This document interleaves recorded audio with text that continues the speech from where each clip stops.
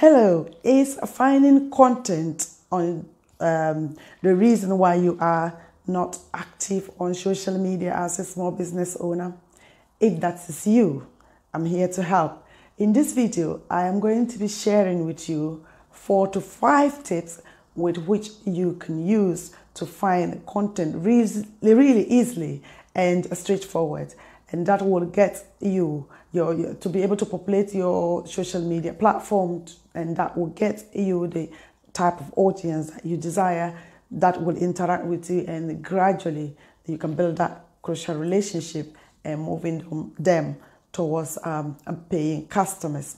The point is that most small business owners um, do not actually become active on social media simply because the dread of finding posts day in day out. Just kind of sucks the, the life out of them. And um, you know business owners are busy. And then of course they, they, they prioritize other things um, other than social media. But the thing is that i believe that social media using the power of social media doesn't only get you visible but it actually gets you the customers that you desire for your business so before we get started, um, subscribe, subscribe to my YouTube channel, like and comment on this um, on this video, and share it. Turn the notification bell on, and so that when I release a video, you would be able to uh, you'll be notified and also um, you know, get some value from that. Now. My name is Beatrice Yakubu, founder of Social Marketing Art, and in today's video, we'll be discussing uh, about content creation. So the first thing that you would look for content is, uh, the first place you look for content is within BuzzSumo. BuzzSumo, when you click, when you write in google.com on BuzzSumo, what it does is that it will bring you loads and loads of um, articles. So, for instance, me as a marketer, if you put BuzzSumo on on on um, on YouTube and uh, actually drill down to marketing articles, of course, it's going to tabulate the articles that have been shared, especially on Twitter and other platforms on social media, that have had most likes, most shares, and what have you. So that that just gives you an idea about the type of content that is trending, the type of content that people like to engage with, and of course, your aim is to also get your people, your audience engaging with your content. And that's an idea that will trick, um, give you the idea of what type of content um, to, to, to send out. Or simply you can read one of the blogs and just um, kind of write a bullet points from, from the blog and then make it your own. And that can become a post for you. The next thing is uh, the number two would be Post Planner. Post Planner is a software as well. It's a website that you would uh, go to to be able to find the type of post that has been doing well, especially for Facebook. So this within Post Planner, you are able to also find um, uh, images. So images, funny images, and things like that, uh, or quotations that have been performing well over the past weeks, over the past months. You will be able to find that, and of course, you can. Um, create one on Canva. You don't necessarily have to copy from somebody, but you can create one from Canva and then put your own spin on it, and bam, that's uh, another idea for you to send a post out for your audience.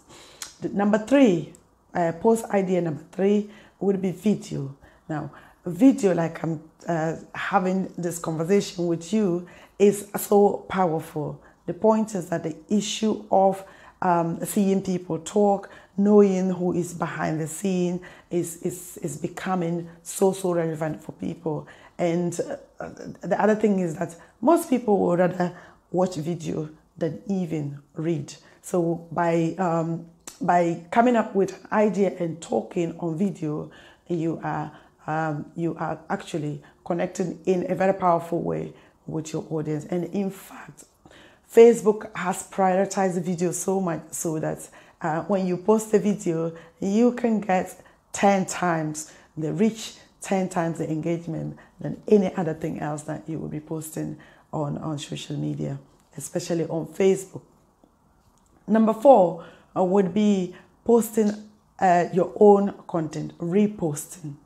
The thing is that when you post something on, on, on social media, chances are just a little fraction of your followers would see it. And the reasons are varied. One major reason is that the algorithm of um, social media, um, especially for Facebook, is so so that you, have got to um, it, it's limited. It's limiting the, the number of uh, reach that your your post will get to people, and of course, except you boost it. Even with that, there's still um, there's still that limitation. So how you can get around that is to post frequently with that same message.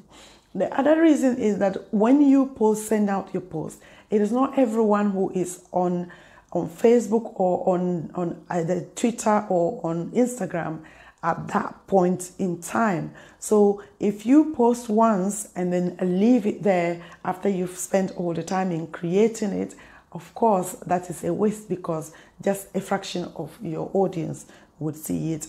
And in order to get around that, you will need to post it a few times, like a couple of times during the week, and also uh, within the month, just go over your um, your old post and repost them. And the person who does this so well is Kim Jimenez. I love Kim Jimenez for that because she brings out so much um, valuable content that she actually crafts it in a way that over and over again um, uh, uh, she sends the same post out and of course um, she's engaging with her audience in a very meaningful way.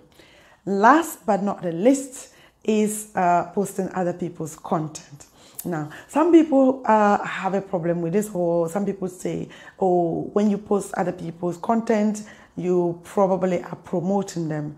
Uh, I beg to differ on that one because when you, uh, within social media, we are uh, talking about collaboration, we are talking about networking, we are talking about supporting each other, so to speak. So if you post somebody, if you share somebody's post, it doesn't mean that you cannot create your own post. But if at that time you see that that post will serve your audience, because remember, at the end of the day, your postings or whatever it is that you send out is to serve audience. If you know that this person's post is going to serve your audience as well, not only reposting it, if you share it and also put your spin on it, of course, it's going to serve your audience in, um, in a valuable way. Thank you for listening to this video. I could go on and on, but of course, uh, for time constraints, if you like this video, give it uh, video, give it a thumbs up, comment on it, like it, share it. And as I said, subscribe to my YouTube channel because I will be posting more and more videos which will be of value to you and also for your community. I will catch up with you soon. Take care. God bless.